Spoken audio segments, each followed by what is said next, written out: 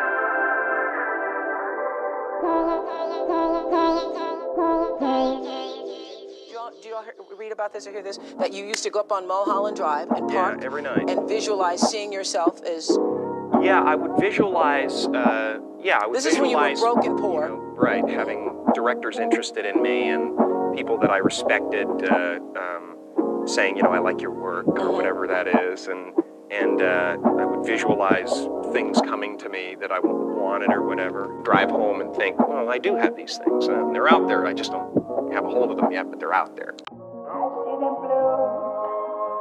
For me and you. And I think to myself, what a wonderful world.